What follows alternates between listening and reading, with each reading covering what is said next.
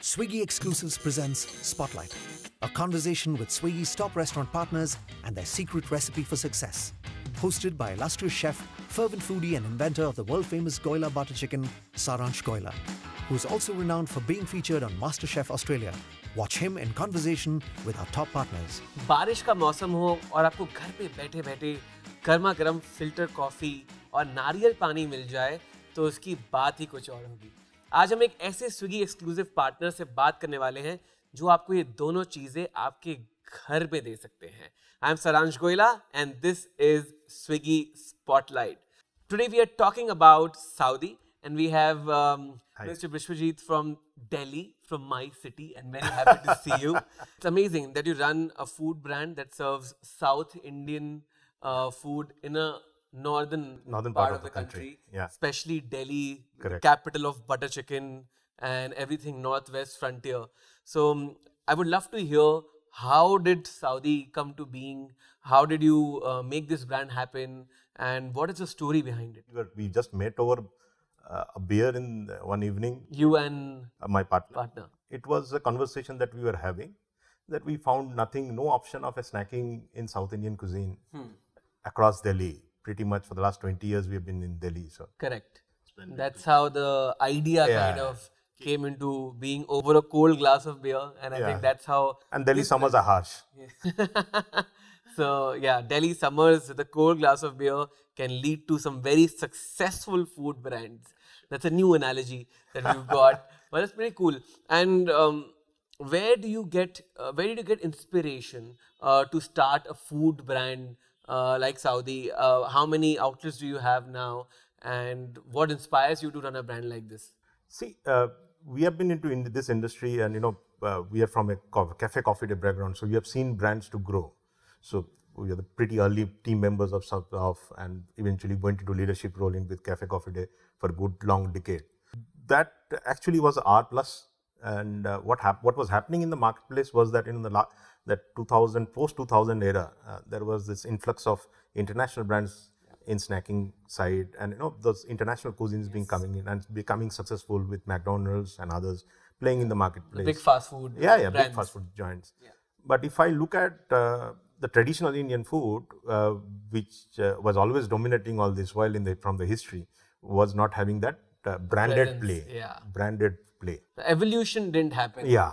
So I think that there was that gap, and moreover in Delhi, I think uh, you uh, get uh, fine dine experience of South Indian definitely across the city, but uh, snacking, uh, it's a very different approach. fast food, snacking, delivery, all those segments were fairly e- empty when you Yeah, yeah. entered. So, which was the year then that you started the brand? So we met uh, in 2010 when the idea started developing, and 2011 we launched with two outlets because we always believed that one outlet will be just another uh, restaurant in the city.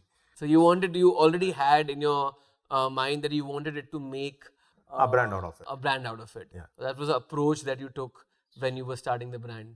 Correct. So, what has been the toughest part of um, launching a South Indian food brand in North India? Have you faced uh, any challenges that you had to overcome? I think the basic challenge was, you know, that uh, when you consider South Indian food, the first thing that comes to mind is dosa. Correct. And dosa, away from the place where you, that is being made, the consumption is, you know, all in a very shabby state. Correct. When you eat Uh, it fresh, then you get it crispy, nice. And to get it packed as it is at your home is very different. The first thing we hit upon was to do this packaging bit on the dosa. Mm, very And- interesting. you know, uh, starting from trying to make dosas at home and packing, pack them up with the options that are coming in from different parts. Uh, eventually, it, we uh, got the thing right, and probably safely we can tell that you know if the moment uh, dosa is prepared, next 20 minutes it's fine. The way we pack it, Oh, that's very exciting. yeah. So that's a key differentiation when we started off in the market. I think that it's a very cool way and approach of looking at it also that how packaging is so important, especially when it comes to delivering a product. Yeah, extremely and important. um, especially when you have a tricky product like dosa, whatever is mean- good about dosa can go wrong. Go wrong. And uh, once you managed to do that, did you see a change in market perception? Well, uh, when we started off, we uh, kept the normal pricing, which was standard pricing available in the market to start with, so that there is no uh, innovations from the consumer point of view to try a new product in a new way. Uh, so we went by the trend. Uh, but what happened is that you know people started recognizing us because of this differentiation factor. So today, if you have grown to 16 outlets, it's primarily the consumer recognition of the initiative that we probably took the day before we launched. That's on the packaging of dosa. That's amazing. And if you had to pick up one USP of um, Southy, what would that be? I think it's convenience because packaging is all about con- uh, convenience and affordable pricing. See, uh, a family of four or uh, three friends walking down to a restaurant, uh, you can finish off your wrap up your meals in less than 500 rupees. No, that's amazing. That's a great price point to be working towards. How do you manage your costs? Well, uh, from day one, another uh, important change that we did is that you know a lot of this traditional South Indian restaurants, you see 40 people working, 50 people working in one restaurant. Uh, so we thought that you know this is the time we take the leaf out of the McDonald's and the other people of the market that you know probably we need a central uh, commissary setup.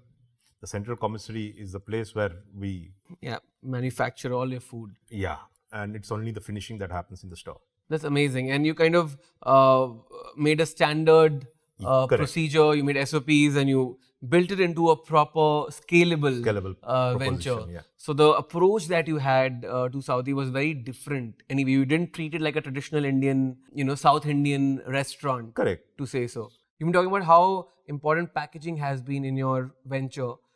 So I'm guessing delivery is a big part of the business. deliveries the last mile logistics uh, are the i mean the fundamentals of the business today has changed because you know the last mile logistics uh, say two years down the line or even three years down the line were quite different. Uh, and you know we as restaurateurs run know how to run restaurants or build brands.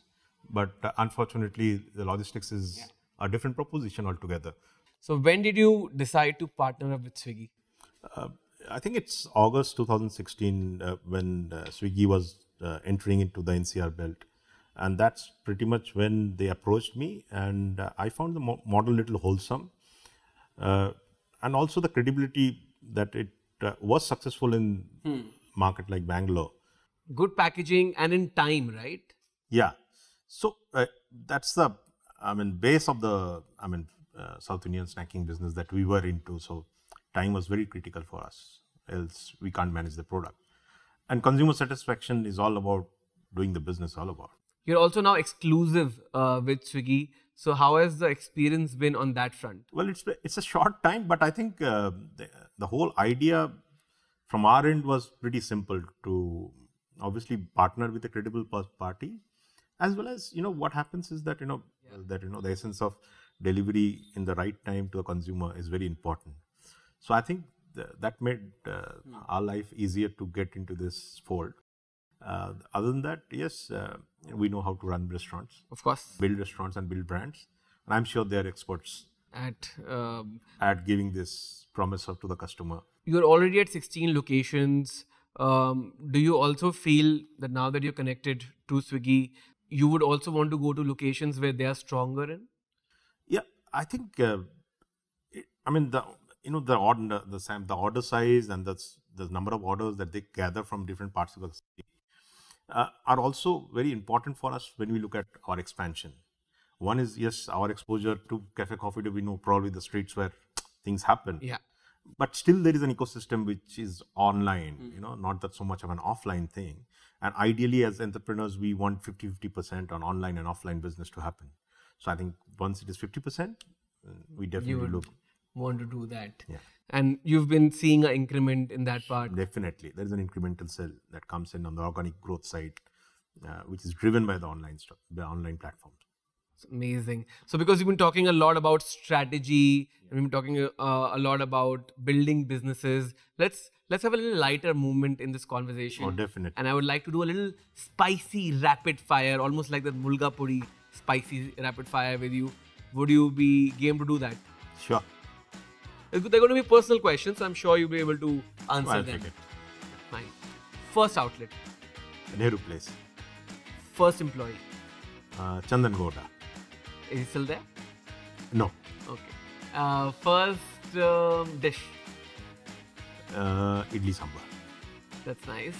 Um, which is a better food city, Delhi, Mumbai, or Bangalore? Uh, my city, Delhi. Yes, my city also Delhi. Well done. That's a great answer. and um, okay, delivery or dine? I think 50 50 50. If have to choose one. I think, you know, uh, there is role for both the sides to play. First review or compliment you ever received? Well, it was wow, easy and convenient. So that's how I received it uh, when we served the food. Nice. Three quick, good feedbacks. But for now, if you had to share three key moments with people who are looking for inspiration or who are in this industry, what would those three things be? I think it's an interesting time at this moment, and I think uh, people who have the knack for food uh, should give it a shot. Um, the essence here is to, uh, I mean, say, lay down your vision and you know probably do the R and D's as in depth it can be possible. Vision and R and D is a must. Yeah, and then obviously you need to reinvent uh, continuously and meet the consumer expectation flexibly because flexibility is very important in this marketplace. Flexibility and uh, taking care of your customer means everything. Thank you so much for your time. Uh, all the best with Southy. Please bring it to Mumbai too. Oh, so definitely, definitely. We will love to be in Mumbai very soon.